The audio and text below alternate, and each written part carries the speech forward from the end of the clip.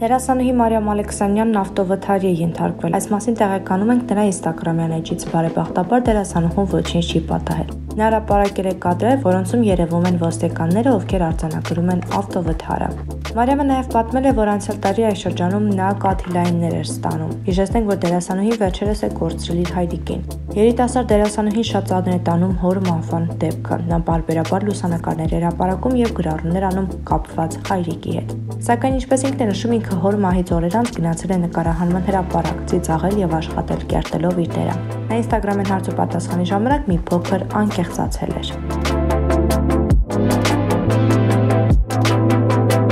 Բաժանորդագրվեք մեր ալիքին, սեղմեք զանգակի վրա, որպիսի առաջինը դուք տեղեկացված լինեք վերջին եւ ամենաթեժ լուրերից։